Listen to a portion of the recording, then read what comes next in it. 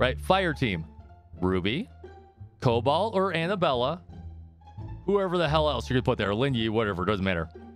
Guess who's doing 95% of your damage? 90% of your damage.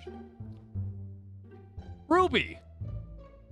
Who gives a shit how much damage Cobalt's doing if she's doing 90%? That's all I'm saying. That's all I'm saying. So everyone that's like, nah, Kyrios, you're wrong. She needs to be A6. You're not even going to use her. You're going to swap her in for an alt every now and then. You're going to swap back to Ruby.